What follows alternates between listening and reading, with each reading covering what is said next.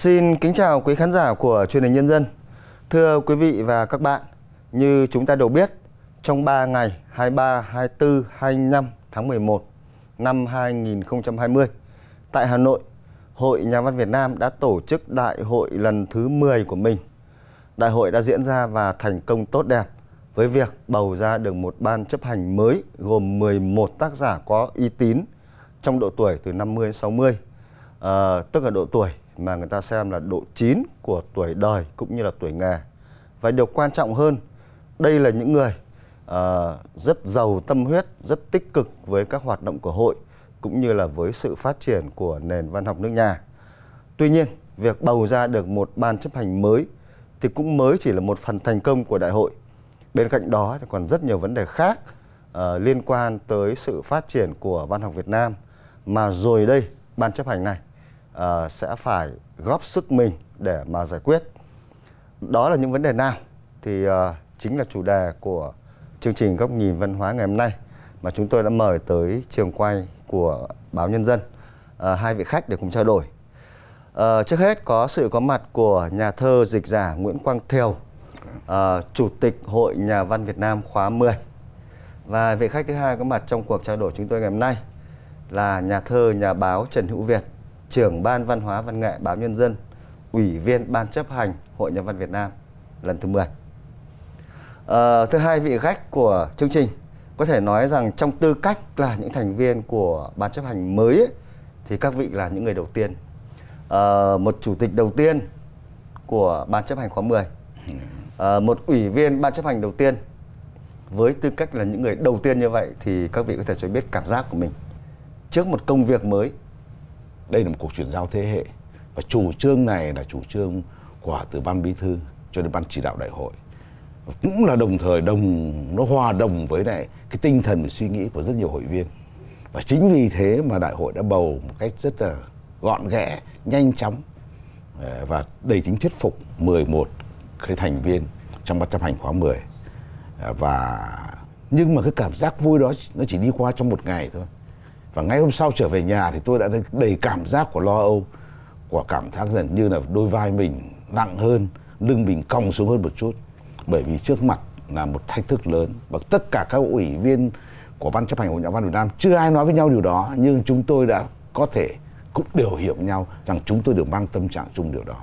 Là một thách thức thách thức và thách thức. Để tới đây cái cuộc họp ban chấp hành phiên thứ hai rất quan trọng là chúng tôi sẽ hoạch định một con lộ trình của 5 năm cho cái nhiệm kỳ mới của chúng tôi về những vấn đề liên quan đến văn học nói chung hay cụ thể những vấn đề xét giải thưởng kết nạp hội viên uh, truyền bá văn học Việt Nam ra thế giới hay là làm cho cái đời sống văn học trở nên sống động hơn và lan tỏa hơn trong cái đời sống chính trong cái phạm vi quốc gia của mình.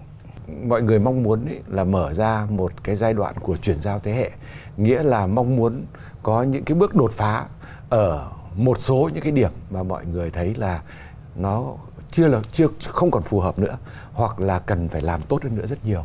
Đấy như là à, anh Thiều có nhắc đấy đó là cái à, công tác giải thưởng công tác kết nạp hội viên à, những cái cơ quan cấp 2 của hội ví dụ như báo văn nghệ ví dụ như nhà xuất bản à, những hoạt động phong trào à, của trẻ thì như thế nào của chuyên đề như thế nào kiện toàn các hội đồng như thế nào có thể nói là công việc thì rất là nhiều. À, tuy nhiên thì chúng tôi cũng có một cái niềm tin ấy là trước thì các anh chỉ có 7 ủy viên ban chấp hành thôi. Đấy, và bây giờ thì chúng tôi có 11 người trải rộng trên các vùng miền. Nhưng mà nói cho cùng ra thì 11 ủy viên ban chấp hành ấy, thì vẫn là một số lượng quá ít so với cả 1.100 lẻ bao nhiêu hội viên đó. Ờ, thì để làm cái việc đó chúng tôi nghĩ rằng là chắc là chúng tôi sẽ phải ngồi với nhau rất là kỹ. À, sẽ phải có những hội đồng chuyên môn là những cái người mà cùng với cả ban chấp hành. Tôi nghĩ họ cũng chính là những cái thành viên ban chấp hành là những cái cánh tay nối dài của ban chấp hành ra.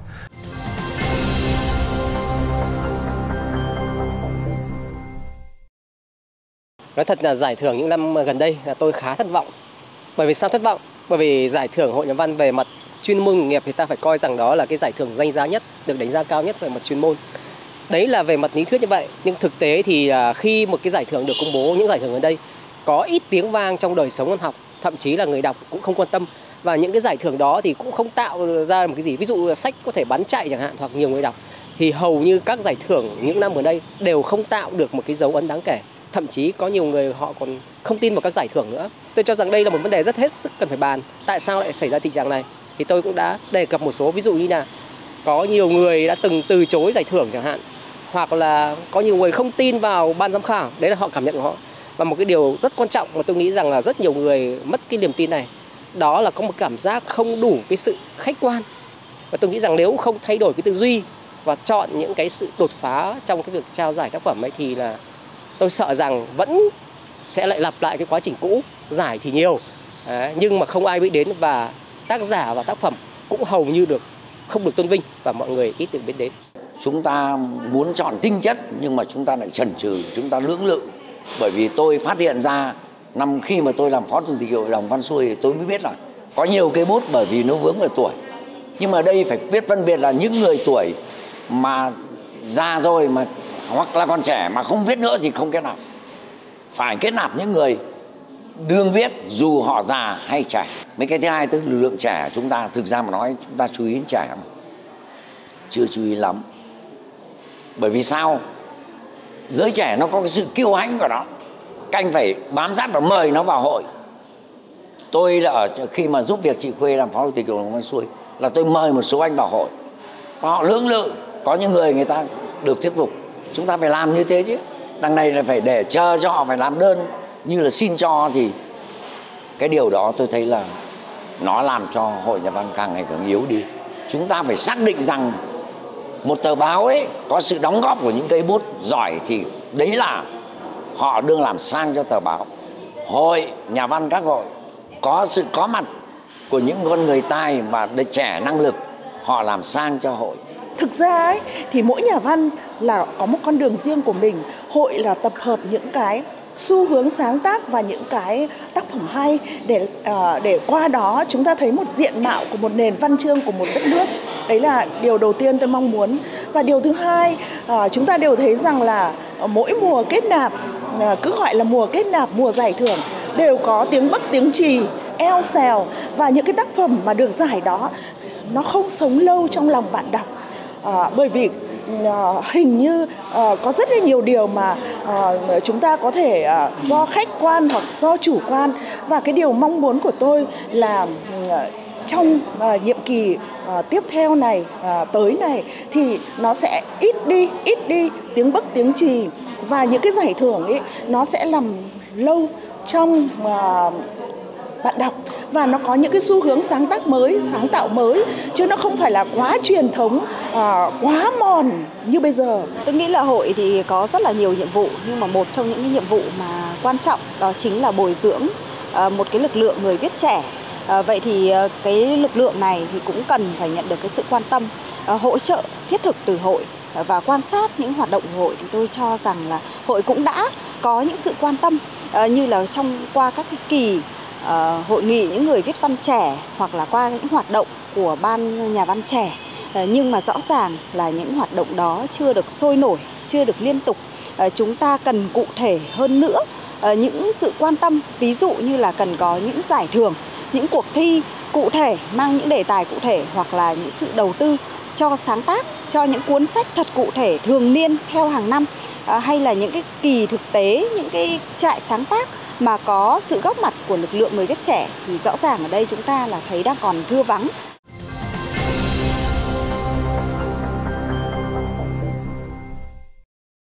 Có thể nói rằng trong lịch sử của Hội Nhà văn Việt Nam ấy thì cùng với sự phát triển của đất nước phải khẳng định là cái công tác của Hội Nhà văn Việt Nam đã tạo thành một cái phần diện mạo rất quan trọng của nền văn học cả nước. Chúng ta có rất nhiều thành tựu uh, có được từ cái công tác hội.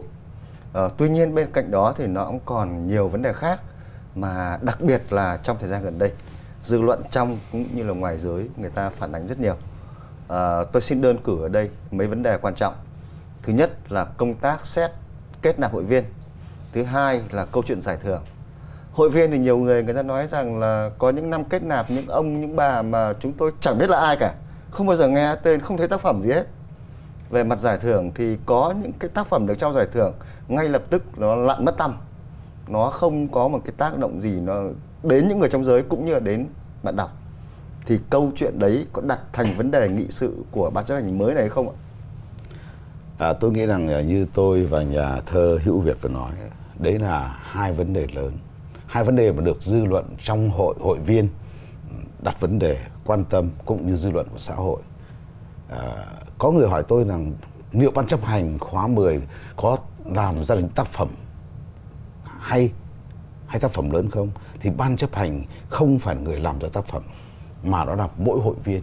Nhưng ban chấp hành có một nghĩa vụ này là khích lệ, truyền cảm hứng, tạo cảm hứng ờ, cho các hội viên để sáng tác, để có những cái tiềm năng ẩn nấu đâu đấy trong trong ngòi bút của hội viên thì nó được mở ra và hai là khi chúng ta phải có những tác phẩm hay thì chúng ta mới có thể có những giải thưởng hay.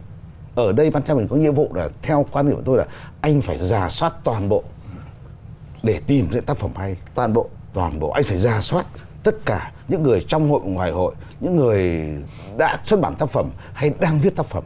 Nếu thăm dò điều đó chúng ta biết thì chúng ta và hai khi anh phát hiện ra tác phẩm rồi cái tôi tôi cho rất quan trọng thì anh phải tìm cách để bảo vệ tác phẩm đó và cuối cùng là truyền bảo tác phẩm đó.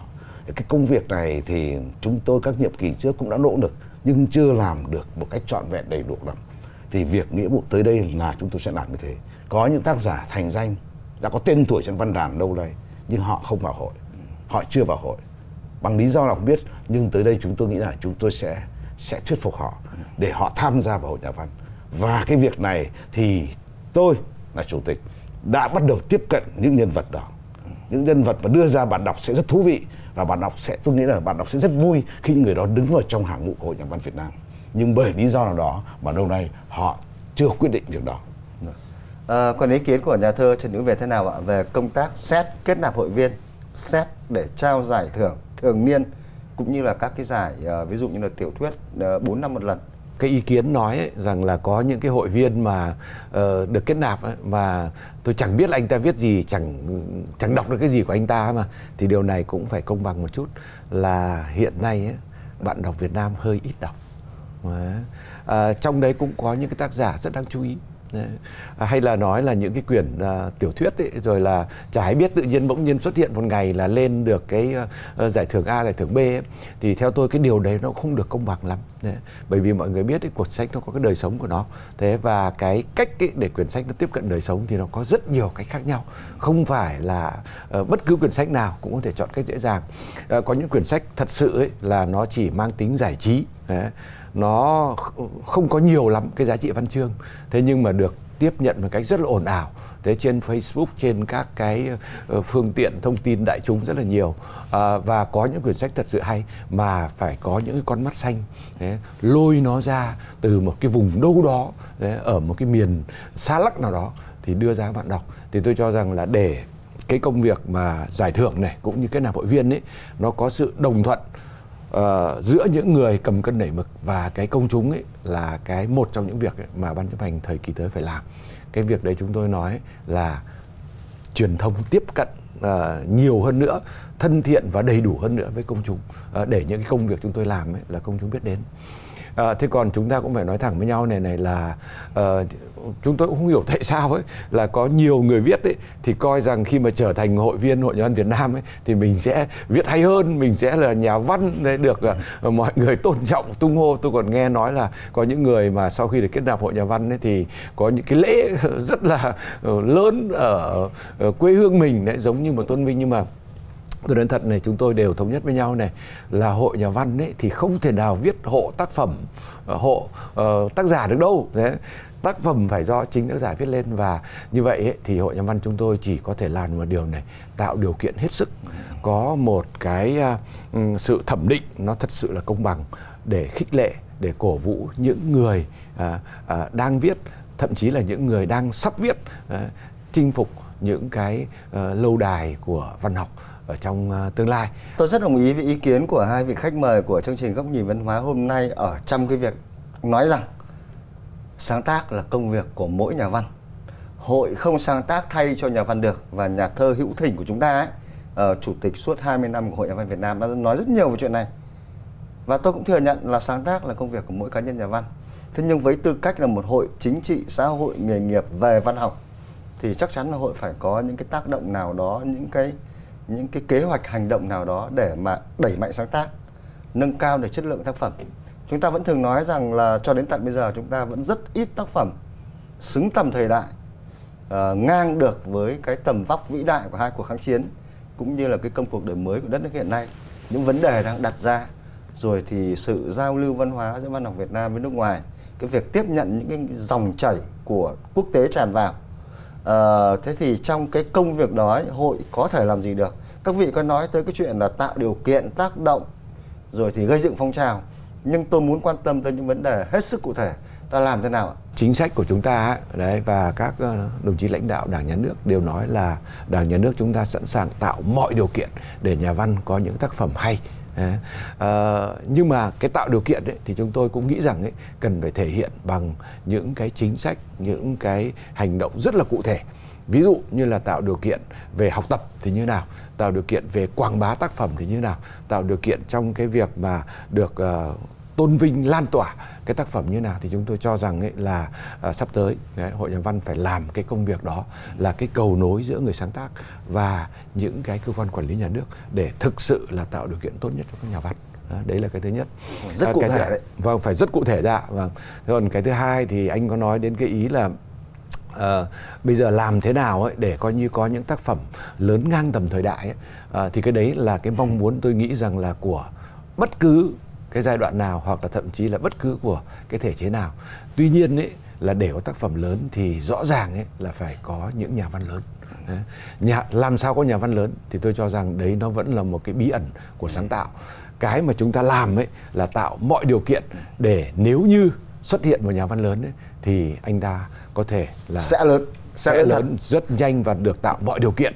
Không có những cái lực cản uh, bên ngoài nào hoặc những lực cản nó phi vận học nào để anh ta không thể uh, nhanh chóng. Thật ra này này tức là lớn thì chắc chắn ấy, cũng không ai cản được cái sự lớn của anh ta đâu. Nhưng mà mình làm cho quá trình ấy nhanh hơn. Nó tạo được một cái cảm hứng một sự khích lệ uh, cho cái phong trào văn học. Thì đấy mới là điều mà chúng ta suy nghĩ và chúng ta cố gắng làm. À, tôi nghĩ rằng có những nhà văn trẻ cách đây 20 năm họ có đầy đủ dấu hiệu trên tác phẩm của họ, trên tư tư duy của họ là một là một nhà văn lớn trong tương lai.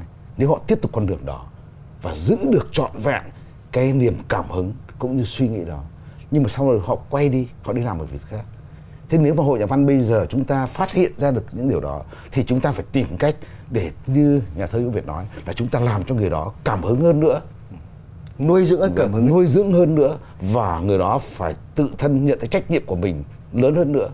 Và như thế chúng ta mới hy vọng được.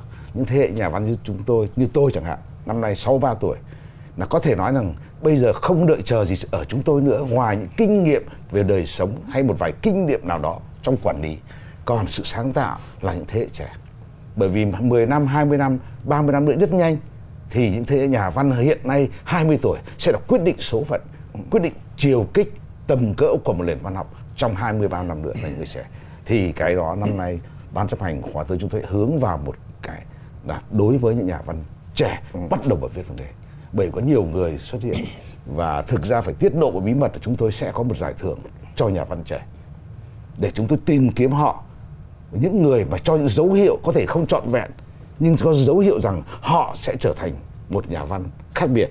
Họ sẽ là người làm thay đổi một cái gì đó trong tương lai, thì những người đó phải được chăm sóc, được ủng hộ, được khích lệ thì tôi cho là điều đó. Hai nữa tôi nghĩ rằng này cái việc tăng cường hơn cái trí tuệ của nhà văn. Chúng ta có hiện thực, việc mà đi thực tế nơi này nơi nọ là việc đơn giản, việc đó tôi không cho một quan trọng tí nào nữa như như trước kia. Bởi vì cái hiện thực quan trọng nhất là hiện thực trong chính nơi họ sống. Bởi vì chỉ cần có những nhà văn, nhà thơ trên thế giới, họ chỉ sống khép kín trong một ngôi nhà một khu phố của họ. Nhưng khi tác phẩm xuất hiện nó mang tầm thế giới. Chẳng có đề tài nào lớn hơn đề tài nào. Không có hiện thực nào kỳ vĩ hơn hiện thực nào cả. Cái quan trọng nhà văn nhìn thấy hiện thực đó và tìm thấy cái gì trong hiện thực đó mà thôi thì tôi nghĩ là như vậy. Hai nữa chúng tôi muốn tạo sự giao lưu tiếp xúc. Chúng tôi sẽ nỗ lực việc này. Sau này những người mà giỏi ngoại ngữ như nhà thơ Việt sẽ cùng chúng tôi sẽ làm điều đó. Tại sao chúng ta không có thể giao lưu mạnh hơn nữa để các nhà văn Việt Nam thấy rằng trên thế giới đang viết gì, đang tư duy thế nào. Tại sao chúng ta không mời những nhà thơ, nhà văn danh tiếng của các châu lục đến Việt Nam để trao đổi, để trò chuyện, để thuyết trình về những vấn đề đó. Thì tôi nghĩ đấy là một quan rất quan trọng. À, vừa rồi thì nhà thơ dịch giả Nguyễn Quang Thiều có nói tới một cái ý mà tôi thấy rất là đáng chú ý tức là đẩy mạnh cái giao lưu quốc tế giữa các nhà văn trong nước và các nhà văn nước ngoài về những đề tài này hay khác những nội dung này hay khác à, thì nó liên quan tới việc mà tôi quan tâm. Đấy chính là cái việc quảng bá văn học Việt Nam ra nước ngoài. Cái việc này thì chúng ta làm cũng lâu rồi cũng có nhiều cái hội thảo mở ra rồi. Thế nhưng mà kết quả thì nó cũng khá là khiêm tốn. Và tôi phải nói thật là nhìn vào cái kết quả của việc đưa văn học Việt Nam ra nước ngoài ta thấy rằng nó phụ thuộc phần nhiều vào cái thiện trí bên phía nước ngoài nhiều hơn. Các đại sứ quán các tổ chức quốc tế họ ờ, chủ động chủ động hơn ta ấy trong cái việc à, tìm ra một số nhà văn nào đấy. Thế xong rồi họ giới thiệu với bạn đọc của họ. Nó còn hình như là về phía Việt Nam, là chúng ta kém năng động hơn, kém hiệu quả hơn trong việc giới thiệu các tác phẩm có giá trị của mình tới bạn bè quốc tế. Vậy thì cái việc này, nó sẽ được điều chỉnh thế nào trong cái nhiệm kỳ tới của ban chấp hành mới? Đấy là một cái nghĩa vụ, một nhiệm vụ, và đấy là một đòi hỏi rất lớn của hội viên đặt vấn đề đó. Đấy cũng là quan tâm của các cơ quan lãnh đạo cấp trên rằng tại sao chúng tôi lấy ví dụ là một số nhà thơ nhà văn của chúng ta đã theo một con đường tiểu ngạch đã dịch xuất hiện nước ngoài và đã được đón nhận và họ đã có những giải thưởng và chúng ta đều biết ờ, như nhà văn Bảo Ninh Nguyễn Ngọc Tư Nguyễn Huy Thiệp, Mai Văn Phấn, Nguyễn Huy Thiệp hay là nhà văn Đặng Thân, ví dụ thế. Họ đang được những giải thưởng uy tín trên thế giới. Thì tại sao cái việc đó chúng ta không tiến hành? Trước kia chúng ta làm các cái hội nghị quảng bá, chúng ta vẫn là giới thiệu một hình ảnh chung cho họ. Nhưng bây giờ chúng ta phải bắt tay vào để thực thi. Ở đây sẽ vô cùng khó khăn. Tôi nghĩ rằng chúng tôi sẽ báo cáo chính phủ để thực hiện một dự án về dịch thuật. Có một cái chiến lược, một cái cụ thể.